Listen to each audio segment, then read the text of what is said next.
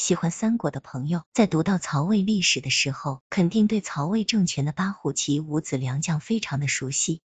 八虎骑和五子良将都是因为在《三国志》之中列为一传，却都是战功显著、出类拔萃的人物，被后世尊称的人物。八虎骑又称八虎将，是指三国时期曹操部下的八位宗亲将领，分别是独眼将军夏侯惇、虎步关右夏侯渊，有天人之称的曹仁。虎豹骑统领者曹纯，京中救主的曹洪，千里驹曹休，入魏复兴初当爪牙的夏侯尚，抗蜀名将曹真。这八位将领，或是在曹操创业时立下汗马功劳，或者在曹丕、曹睿时期镇守一方，各凭智勇，独当一面，为后人所崇敬。五子良将，又称魏五子，是指三国时期曹魏势力的五位将军，即前将军张辽、右将军乐进。左将军于禁、征西车骑将军张合以及右将军徐晃。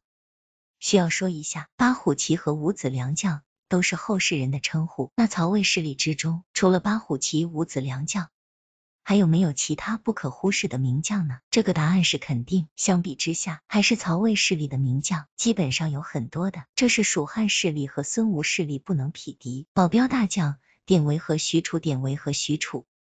都属于曹操的亲卫大将，素为曹操重军的代表人物，都属于勇猛之将。一个当官万夫莫开，典韦因为死得早，宛城之战就因为救曹操死了，有点可惜。许褚一直跟随曹操南征北战，立下不少功劳。当曹操去世时，许褚哭至吐血。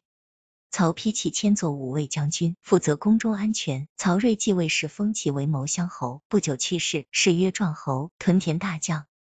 任俊和邓艾屯田制是曹操麾下的早知和韩浩率先提出来的，实行者包括任俊和曹魏时期的邓艾等。曹操与他奠基的曹魏政权，整合军屯与民屯，在各地设立田官，专门负责屯田。屯田制逐步确立后，成为了国家政权的钱粮收入来源，同时也解决了屯田军民本身的生计，为曹操统一北方奠定了基础。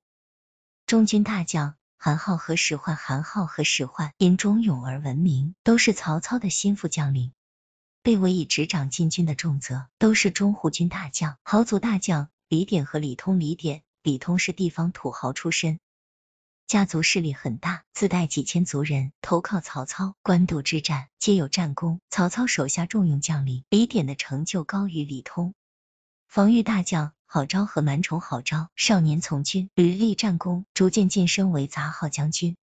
后受曹真的推荐，镇守陈仓，防御蜀汉。诸葛亮第二次北伐，为郝昭所阻，劝降不成，昼夜相攻二十余日后，被迫退军。满宠以执法严格著称，转任汝南太守，开始参与军事，曾参与赤壁之战，后关羽围攻樊城，满宠协助曹仁守城。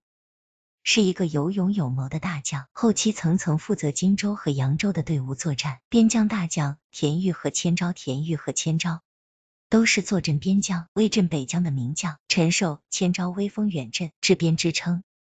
赐于田玉，百姓追思之。田玉居身清白，贵略明练；千招秉仪壮烈，威绩显著。而豫位执小州，昭中乌郡守，未尽其用也。地方大将郭淮、文聘。